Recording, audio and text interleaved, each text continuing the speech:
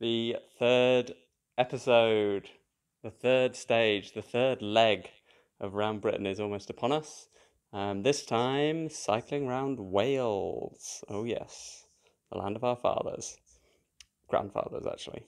Um, so, I just wanted to show you the bicycle that we'll be attempting this thousand kilometre bike ride. Um, much changed since Martin won, bit the dust at the end of the last ride. Um, this is a Dunx. Well, the frame is a Dunx Rockabilly, kindly built up for me for the people at by the people at Dunx Cycles in Lowestoft. Very excited about new wheels. Um, apparently, they're going to last forty thousand kilometers or something.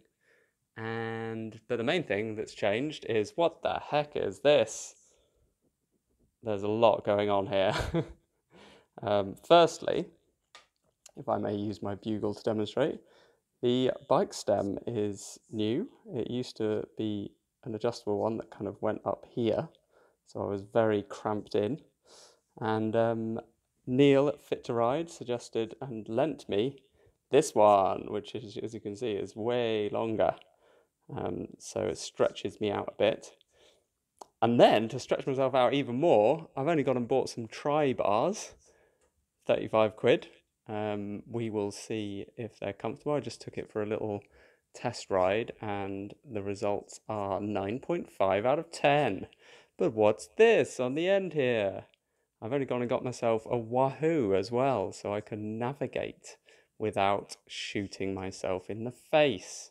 So um, excited about that.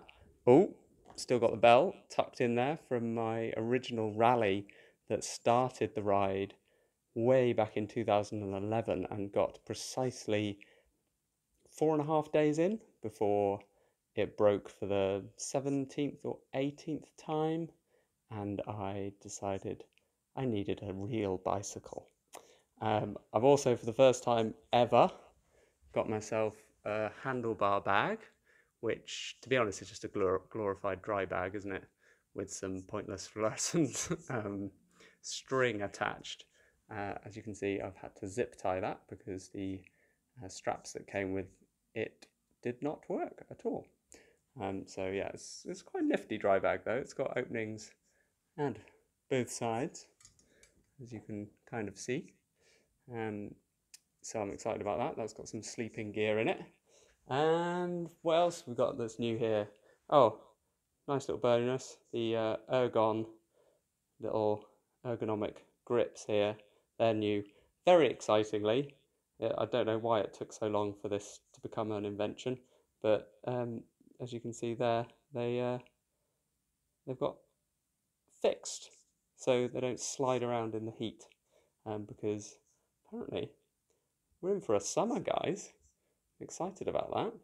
And um, so hopefully Wales will be kind to me, and I will post again from the road. See how this kit actually bears up when I'm in the saddle. And farewell, ride safe. Charms over and.